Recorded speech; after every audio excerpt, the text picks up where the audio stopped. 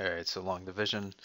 Um, 3x fits into x cubed. Um, one third x squared times. So you multiply this through, we get x cubed, and then one third x squared times six is going to be um, plus two x squared.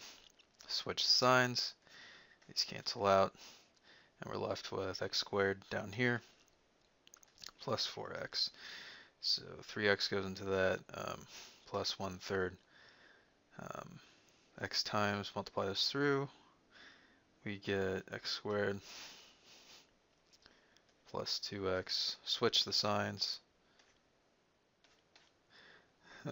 2x plus 3 uh, goes into there, 2 thirds times, And we're left with 2x plus 2. So that becomes 4. Plus 4. So we change signs, we get minus. So we're left with minus 1. So our solution is going to be um, x squared plus x plus 2 all over 3 minus 1 over 3x plus 6. And that's it.